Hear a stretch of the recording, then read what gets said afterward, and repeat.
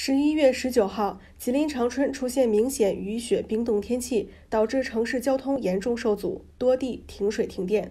街路上除了公共交通车辆以及少量私家车，更多的是在极端天气里为市民送餐的外卖送餐员的身影。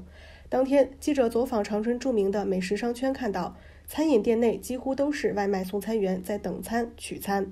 一位来不及透露姓名的外卖送餐员对记者说：“从清晨出门到中午用餐高峰前，他已经接了二十多个订单。雨雪打湿了他厚重的外套，然而他并没有时间擦拭和更换。啊，就是这这路太滑了，不好骑。啊，这现在下雪嘛，然后这雨先前是雨，后来是雪，衣服也湿了，也没有时间换的，一直在干。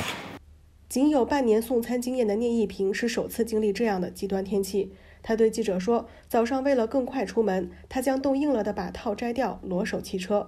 即使手被冻得疼痛难忍，他也依然在坚持。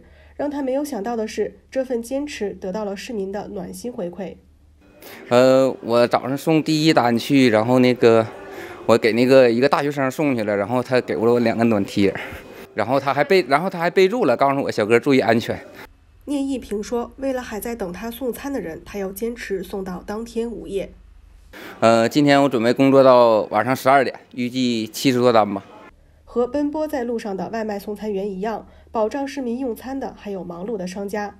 这场极端天气来得猝不及防，长春市城区遭遇大面积停水停电，不少商家启用了备用发电机，并购买矿泉水供厨房使用。虽然餐食成本提升了，但价格却没有上涨。就是这一大桶的那个水，呃，都呃分送到各店。那么各店是包括洗菜也好，包括熬汤也好，都是用的这样的水。呃，这样的话，呃，如果停电的情况下，我们也是有预案的，就是用那个发电机